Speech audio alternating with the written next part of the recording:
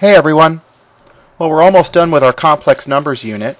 We've added and subtracted complex numbers, and we've multiplied complex numbers. So let's talk about what happens when you divide complex numbers. And it's going to turn out that we pretty much do the same thing with dividing complex numbers that we did with dividing by radicals. And that shouldn't be a big surprise because the imaginary unit i is a radical, isn't it? It's the square root of negative 1. So let's talk about what we did when we actually um, divided by radicals. Remember when we had a problem like, let's say I had 2 over the square root of 3. Do you remember what you did? Yep, you multiplied by the square root of 3 over the square root of 3. We rationalized the denominator. We made it into a rational number instead of an irrational number. 2 times radical 3 was 2 radical 3 and radical 3 times radical 3 is 3. That's what we did. Well, it turns out you do the exact same thing with complex and imaginary numbers that you did with radicals because, as we said, uh, the imaginary unit i is a radical. So whatever you would do with radicals, you would also do with imaginary numbers. So what if I had, let's say, 2 over 5i? Well, if this had been a radical, we would have said, well, we multiply top and bottom by the radical that's in the, in the denominator. That's what we're going to do here too. The radical in the denominator is i. So we're going to multiply top and bottom by i. We're doing the exact same thing we did with radicals, but in this case the radical is i. 2 times i is 2i over 5i squared. But we said that when we have an i squared in the previous video, that just means we take off the i squared and change the sign. So my answer here is 2i over negative 5. Now what we'd really want to do, if we were being really good about this and writing this in proper form, we would probably write negative 2i over 5. Right? That'd be a better way to write the answer. Please remember that whether you have this, this is just an example, or this, all both of those are equal to this. Okay? It doesn't matter where the negative sign is, but technically when we write a negative fraction, we usually write the negative out in front. For our purposes here, we're going to leave that alone. That's perfectly okay. So if you gave me that answer, that would be fine. Let's look at another example. How about if I had 6 over 2i? Well, what do we do? We multiply by i over i. 6 times i is 6i over 2i squared.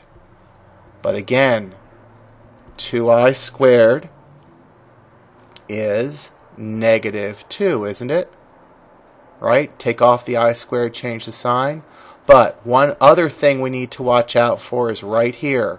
Please make sure when you do division, just as we did with radicals, if your whole numbers can be reduced, they need to be reduced. 6 divided by negative 2 is negative 3i. So my answer for this problem, this problem right here, 6 over 2i, can be simplified to negative 3i. Let's do another problem. What if I had 3 over negative 8i? Well, I would multiply by i over i. That's 3i over negative 8i squared. We have an i squared. That means we get rid of the i squared and change the sign. Your answer is 3i over 8. Okay? Let's get a little more complicated, shall we? How about 2 plus 4i over 6i? What am I going to do? I'm going to multiply by the radical, the denominator, i over i. On the top, I'm going to distribute, aren't I? This is just like we did with radicals. 2 times i is 2i, and then 4i times i is 4i squared. And on the bottom, I have 6i times i, which is 6i squared. I think you know what to do next, don't you? you got a couple of i squareds there to deal with. And what's the rule that we talked about? The rule is you take off the i squared and change the sign on the number. So this is going to be 2i, what do we got here? Minus 4, that's right. Over 6i squared would be negative 6. Okay? Couple more things to deal with here. The first thing is you should notice something wrong with the denominator. Do you notice it? You should because complex numbers should be written in a plus bi form, standard form. So this really should be written negative 4 plus 2i over 6. There's one other problem. I hope you see it. And that is all three of my whole numbers, and again, it has to be every whole number in the problem, is divisible by 2, isn't it? These can be reduced. As long as every whole number, as every term in your answer can be divided by a common factor, you need to do it. So let's divide each one of those by negative 2. Um, excuse me, by 2. So we get negative 2. Oh, I forgot a negative here, didn't I? Okay, so that's negative 2 plus i over negative 3. Okay, I'm okay with that answer. It's not actually the best answer, but I'm okay with that answer. Let me explain to you how this answer is usually written. You might see in textbooks this written another way usually we don't like having negatives in denominators. It's just not the nicest looking answer. So frequently what you'll see done in books and online is that you change all of the signs in the problem. So you get this instead. It's a much prettier looking answer than this answer, isn't it? Okay, so if you see this, don't get confused. It's just getting rid of that negative in the denominator by changing all the signs.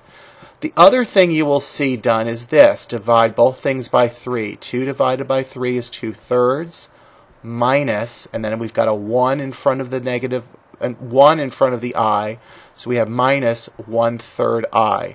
If you take a look at that for a minute, I hope you'll see why that's actually a, finally the finally the best answer for this problem.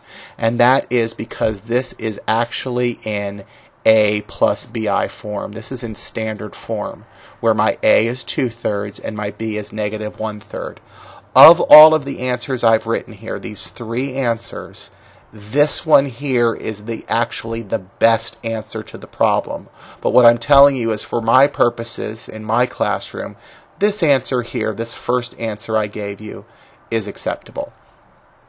Again, not the best answer to the problem, but it's acceptable. This would this answer right here is the most mathematically correct answer in terms of writing it in standard form. I hope you might also notice that for this problem here, we could actually have reduced this right from the very beginning, couldn't we? We could have written this as 1 plus 2i over 3i right from the top, and it actually would have saved us a step. Actually, wouldn't have saved us a step. We're only doing the we're doing the reducing earlier rather than later. Okay. Now, now we're going to get a bit complicated, and that is what if you have a binomial in the denominator? And you should remember these from when we did um, radicals. What if I have 5 over 6 plus 6i? Do you remember what we did with these? When we had radicals, erase that. Let's make that look a little better. When we had radicals and we had two terms in the denominator, what did we do? We multiplied by the conjugate. And the conjugate was the exact same two terms, and we changed the sign between them. So we're going to do the same thing with our complex numbers. We're going to multiply by the conjugate of our denominator. And not surprisingly, these are sometimes called complex conjugates because we're taking the conjugate of a complex number. That should make sense. Now we're going to do our multiplication. We're going to distribute here on the top. That's 5 times 6 is 30. 5 times negative 6i is minus 30i. Now you have two choices on the bottom. You can either FOIL these or you can remember that what you really end up with in the denominator is a difference of squares. Let's look at it both ways. Let's FOIL it first. 6 times 6 is 36. My outside term, 6 times negative 6i, is minus 36i. My inside term, 6i times 6, is plus 36i. And my last term, 6i times negative 6i is negative 36i squared. Okay, I hope you can see that my middle two terms, as they should with difference of squares, cancel out. And if I have a 36, uh, negative 36i squared, we take off the i squared as we have been doing. Change the sign, this becomes plus 36. So what do I have? I have 30 minus 30i over 36 plus 36 is 72. Am I finished? Nope. I am not finished with this problem because I have a common factor in all of my three whole numbers. And again, it needs to be in all the whole numbers. 30, negative 30, and 72 have a common factor of 6.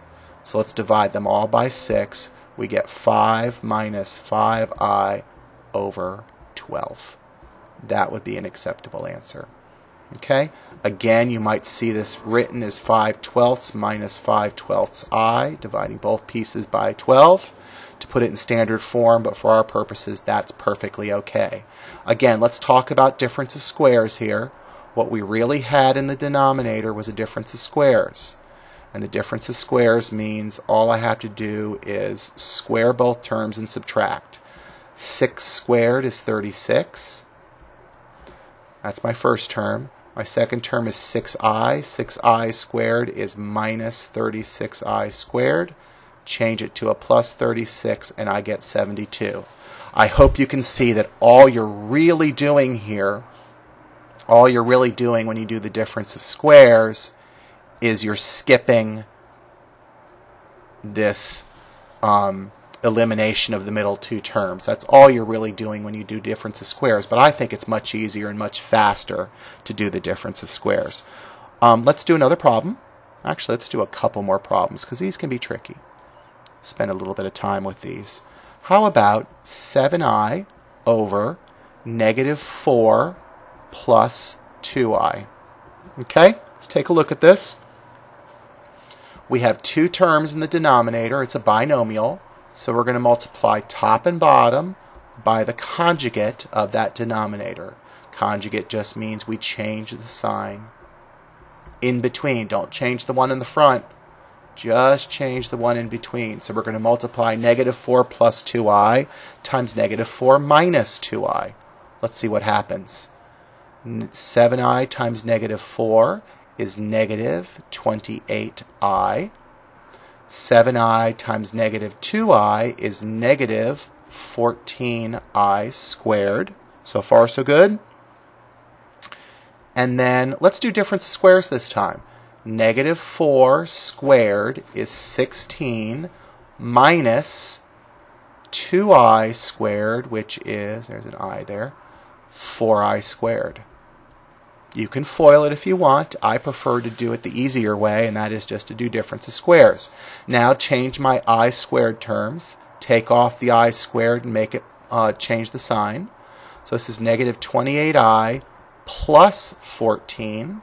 And on the bottom, what do I have? I have 16 plus 4, which is 20, right?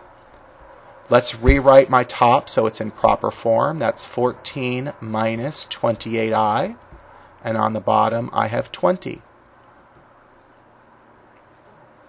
You're saying, no, no, we're not finished. I hope that's what you're saying anyway. 14, negative 28, negative 20, uh, positive 20, they're all even numbers, right? They're all divisible by 2 at the very least. And that's what they're divisible by. So we're going to divide everything by 2. 7 minus 14i over 10 would be my best final answer here. Okay? But again, remember you cannot reduce unless every whole number is divisible by a common factor. I want to do one more problem, and that's this one. 10 plus 6i over negative 5 minus 7i. I want to do this one because it's going to have a binomial both in the numerator and in the denominator. Let's multiply by the conjugate of the bottom, my complex conjugate, which would be negative 5 plus 7i, wouldn't it?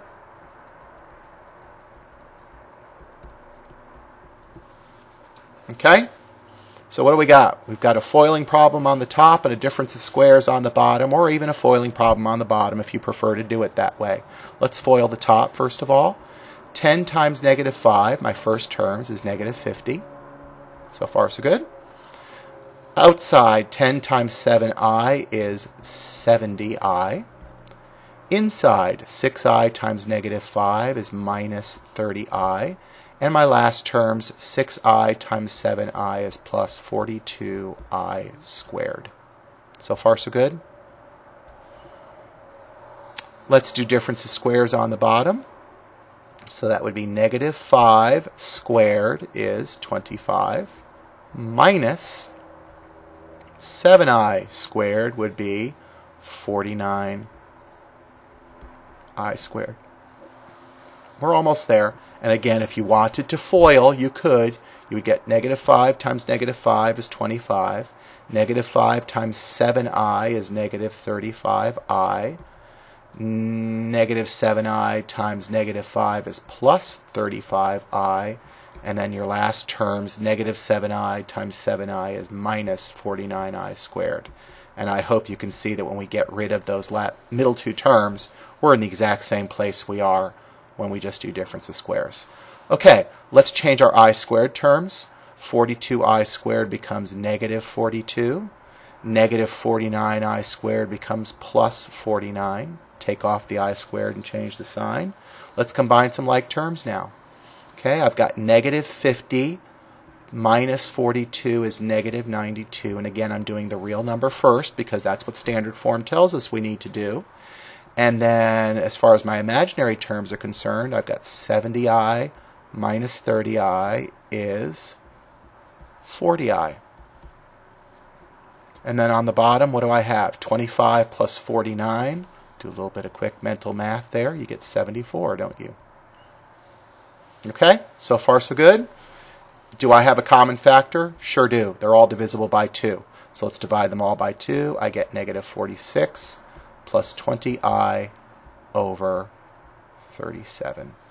Not too bad, is it? And then again, our net, our bottom line, our result has to have no imaginary numbers in the denominator, no radicals in the denominator. That's why we've been doing this the whole time, is to get rid of those radicals in the denominator. Okay? That's how we divide complex numbers and rationalize complex or imaginary denominators. Thanks.